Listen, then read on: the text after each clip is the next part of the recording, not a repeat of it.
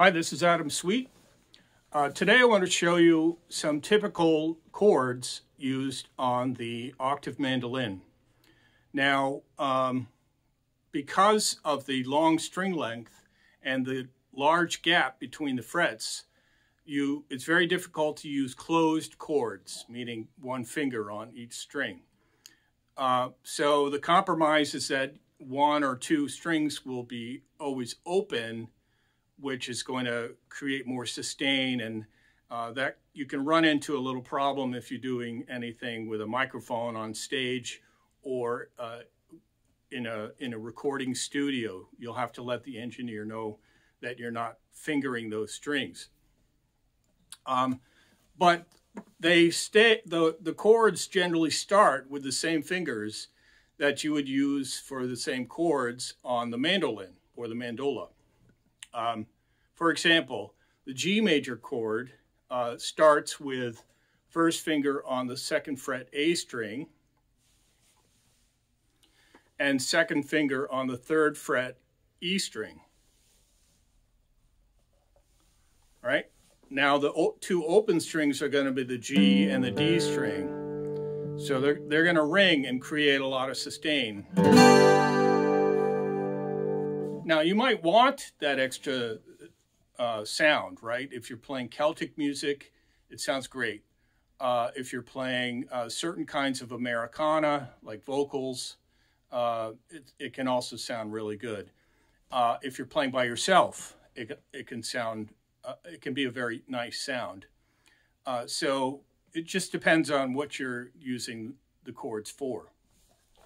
Uh, so the uh, C chord is also very similar to starting the C chord form on the mandolin. So for that, we're going to put our first finger on the uh, second fret D string and second finger on the third fret A string. So that's your C chord. Um, don't try not to let the E ring. So you can do that by uh, leaning the side of your index finger against those two strings, uh, and it will it will mute the E string, stop it from ringing.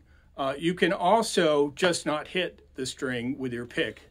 Just go uh, go up to the A string and then stop. Now that takes some practice, but you can do it. it's not hard. Um, like I always say, it takes adults about three months to learn a new habit. So for something like that, what you're going to do is move your pick down and stop it uh, after you play the uh, uh, the A string. Okay, and it, that just takes practice. You just sit here and do this until you can do it successfully every time. So that's uh, G and C. D string, I have two D strings that I use, but I'll show you the most common one. You probably you probably already know it. It's it's the open two finger D string uh, D chord uh, that you might use on the mandolin. So we're going to put first finger on the second fret G string, and then third finger or second finger if you can reach it, third finger on the second fret E string. The two open strings are going to be the D and the A. And remember, they're going to ring, so be prepared for that. Sounds nice, doesn't it? So that's our three main uh, chords often used in most Americana uh, and a lot of bluegrass. Now, you're probably not going to use the octave mandolin to play much bluegrass. Uh, it's more suitable to, uh, as I said, Celt Celtic music, um, but you are going to uh, uh, have it in your uh, with your instruments, and why not? Why not bring it out when everybody's playing some bluegrass tunes and try it? Just be prepared for that extra ring. All right, and if you have any questions, I'm uh, online all the time. My links are below in the description. Don't forget to subscribe to my YouTube channel and hit the bell icon uh, so you're notified when I post something new. Thanks very much for watching and I hope you have a great day.